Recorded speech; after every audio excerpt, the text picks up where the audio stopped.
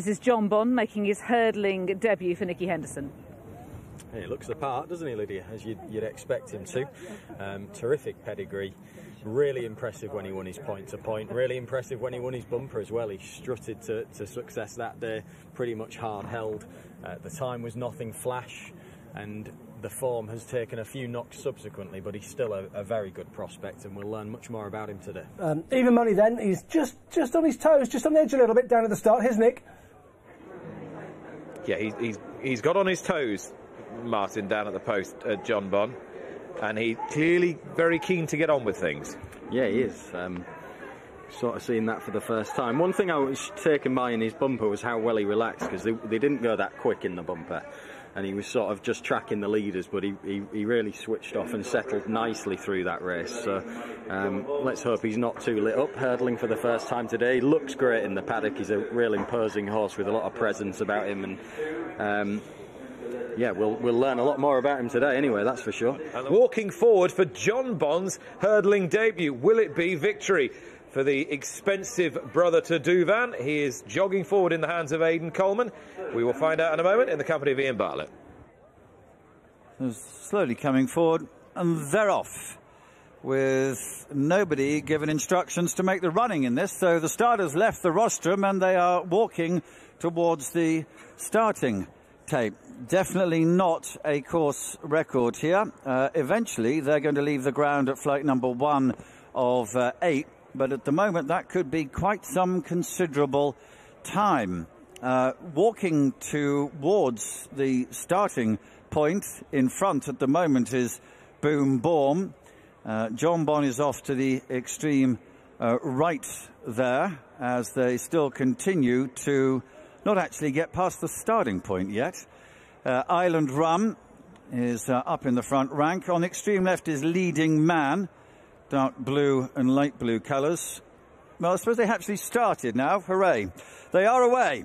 Running down towards then the, well, running, uh, making slowly their way down towards the first of eight flights of hurdles. Boom Born and Good Risk at all. And on the right, Jonbon will be the leaders. Uh, nearest to us is Ange Endormi in the beige colours. You might just end up in front, but now it's going to be Jack's a Legend uh, dark blue and red jacket, a white cap, who strides through into a two or three length advantage, so they sort of really do now get going with one circuit remaining and seven more to take.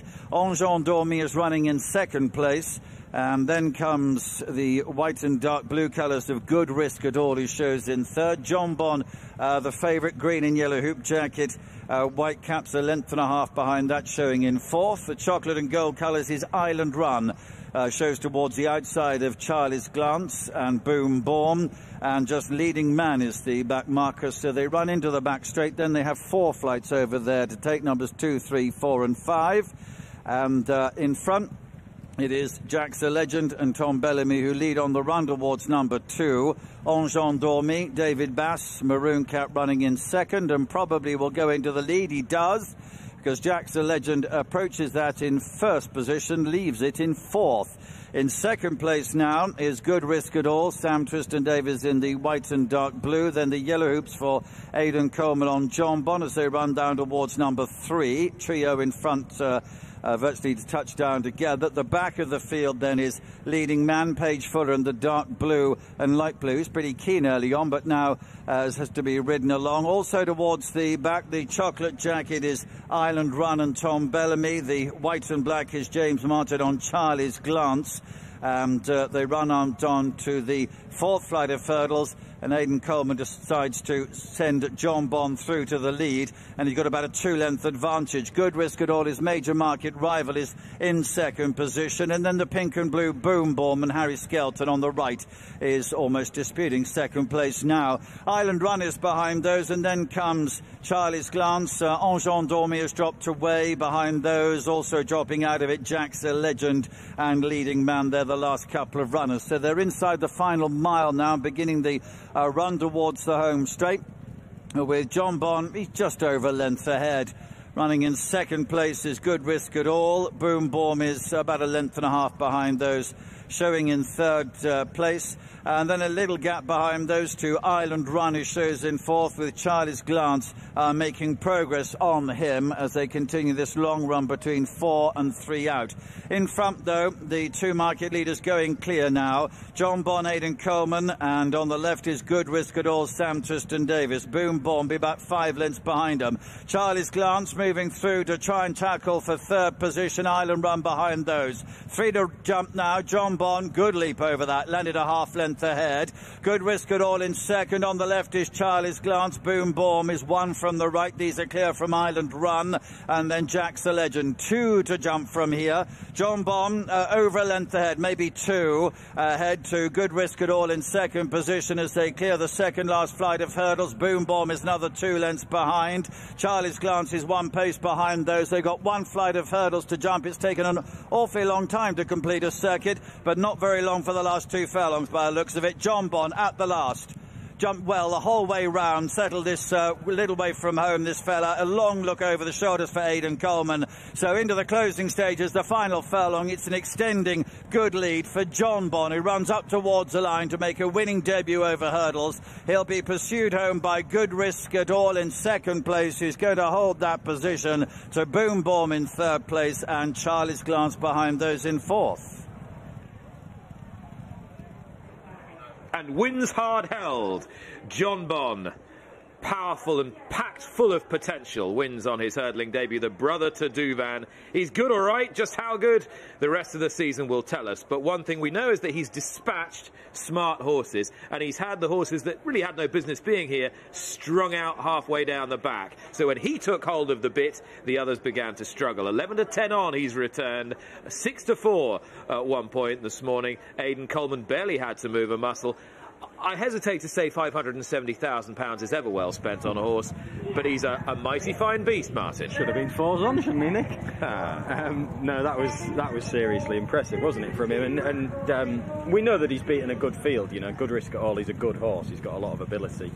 Boom Boom had made a nice start, and the race threatened to be a bit farcical early on, but his jumping was really good, and he's clearly got loads of natural ability, hasn't he? Anybody can see it. Look, you know, whatever the time tells you today, this is a good horse, like a really smart horse, isn't he? And he's going to have to go into um, deeper waters as the season goes on, and, and he'll be tested more and more, but he's not even a flinch to do that today, and he's beaten a really good, talented rival in Good Risk at All, who's jumped better as the race has gone on he's got a very potent combination of pace, physique, mm. and agility, and just a little bit of that as well, which I never mind if it's harnessed in the right direction. And the way for a, a, horse of some power and physique, he was just putting himself right at every oh, hurdle. Natural, was joy to watch, yeah, it? he's really slick, isn't he? He didn't look novicey at all, did he? At any stage. Bet for a hurdle. now you need three hurdle runs first. Oh, you to do. do that. It's unlikely then. Yeah, and I don't. I don't think they'll be wanting to worry about conserving his mark. There's, there's plenty more that you can you can go that route with. Jonbon is a championship horse. I don't think there's any doubt about that. And uh, I'd, I'd, be fascinated to know what the winning jockey uh, felt riding Jonbon today. We can find out now because he's with Lydia.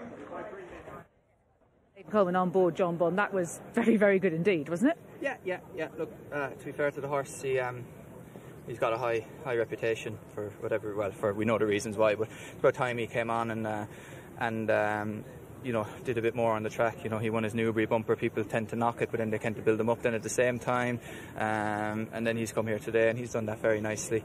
Beat a very good horse in second. Uh, funny old race to ride in, as you could see, but mm. was, everyone was told not to make the running under any circumstances, so we have to do what we're told, you know what I mean? It's not, especially in novices, it's very all well and good taking your law into your own hand, and then your horse going down and having a look or a shimmy or doing something at the first. You know, these the, the, owners pay for these horses to come racing and, and get the right experience, and they pay professionals to ride them. And if you can't ride a horse to the best of its ability or to teach it going forward, then uh, there's no point really kind of giving jockeys instructions, and that's why the start ha- was how it was. You know? Okay, that's an um, explanation. Well, it's just all babies. It's the handicap is very different. It wouldn't happen because you'd be nearly sure your horse would go down and jump the first. But like everything there had a very little experience. I know he'd had a point to point run, but he never ran on the track. You know, Sammy's horse had had a run, didn't jump great. Harry's horse was similar, um, and Tom O'Brien's horse only one run in the bumper. You know, so what are we supposed to do if you know what I mean? But uh, the race developed in the straight, and he did it from there.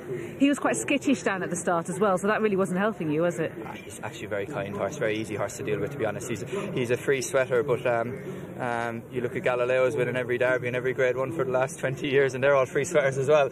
Um, so uh, yeah, people don't mix up the free sweater with him being um, anything other than just that. He's a very relaxed, kind individual, and he's very straightforward. But he looks like he's got a bit of a pep about him, though, like his like his brother, and he just you went you allowed him to go on, and he's very neat at his hurdles as well. Yeah, no, just, just look, he's a, he's, a, he's, he's, he's a very, very good racehorse going forward, and now I hope um, he can start writing his own headlines rather than looking back at price tags and siblings, you know. I think he probably can. Thank you Thanks, very much. Aidan. Thank Thank you. you.